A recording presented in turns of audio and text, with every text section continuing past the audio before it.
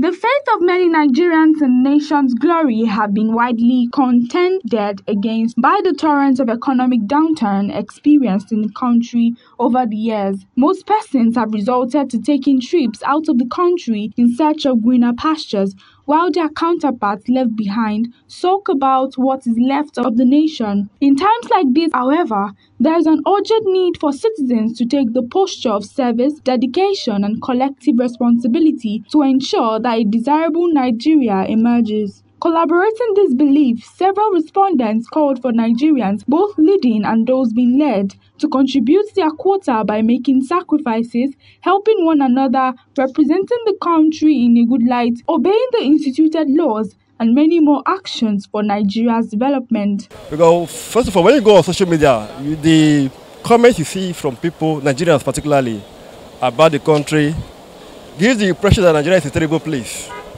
And uh, foreigners will always tend to act on the opinions of Nigerians, like they say. Who will tell you about somebody more than the person who is closest to him? And the two, I feel as Nigerians, as patriots, we should always obey the law. When we obey the law, we tend to help the government. The government will not always be there for us in terms of 100% performance as per the duties of what a government should do for the citizens. The government will always fail one way or the other, we know. But because the government is failing one way or the other does not mean as Nigerians, we should also abandon our obligations, our duties as Nigerians, and tend to abandon our responsibilities as patriots. It will be detrimental to the country as a whole. If you ask me, political era is more expensive.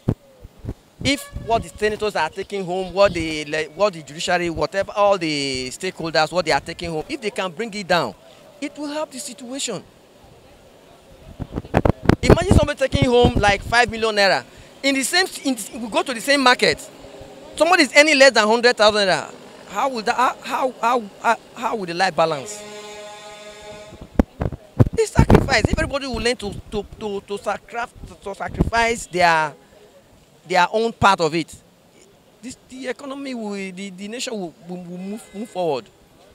Not like try to bring down your neighbor, try to portray bad things about your country or someone.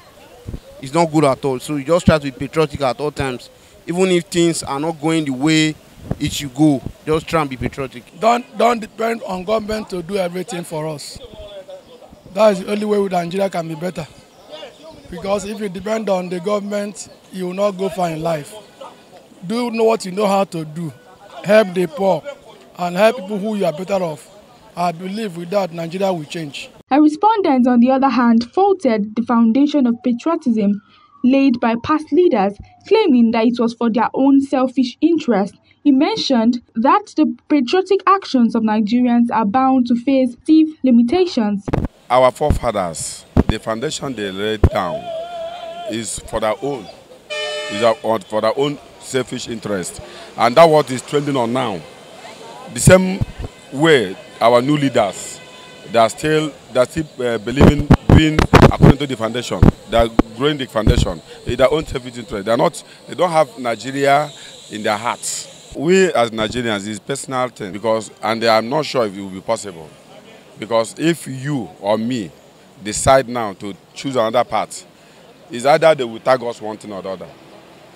They may tag me terrorist, they may tag me different type of things, eh, to make sure they liquidate me or kill me. Nigerians are encouraged to remain positive and committed to their country, defying the present challenges.